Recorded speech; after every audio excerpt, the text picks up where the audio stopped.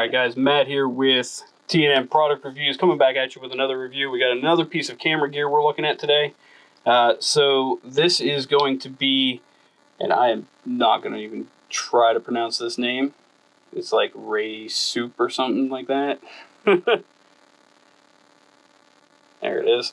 I'll put a link in the description so that way you guys can check this out. So this is actually uh, a mobile power bank charger uh, USB cable.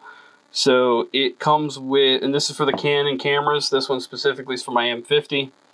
So it comes with a dummy battery. So as you can see, it's got the little plug you can plug the charger into whenever it's inserted in the camera. It has a DC drive cable adapter in it.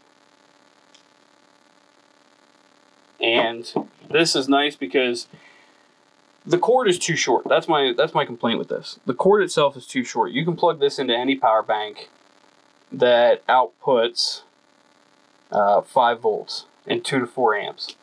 But the cord won't reach. If you have your tripod extended all the way, this cord's not going to reach all the way to the floor. So that's my complaint with it. However, to make up for that, this will actually connect to any standard power bank. So as long as the power bank is able to put out 5 volts anywhere between 2 and 4 amps, this drive will actually convert that to an output of 8.4 volts and 2 amps.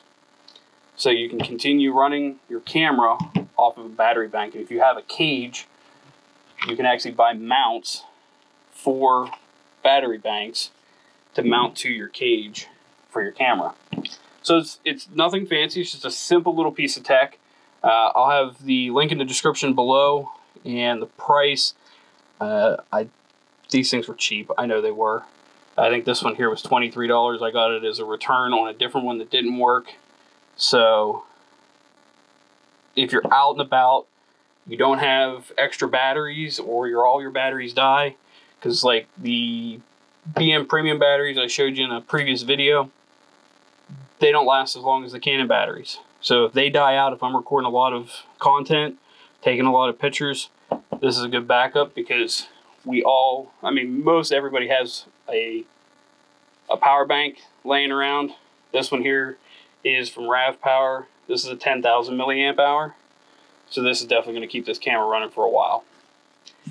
Alright guys, that's all I got for you for the mobile power bank charging cable for the Canon M50. If you guys like the video, give me a like, comment down in the comment section, hit the notification button so you know when we got more videos coming out. And if you're liking the content you're seeing, hit the subscribe button, and we'll see you in the next video. Later.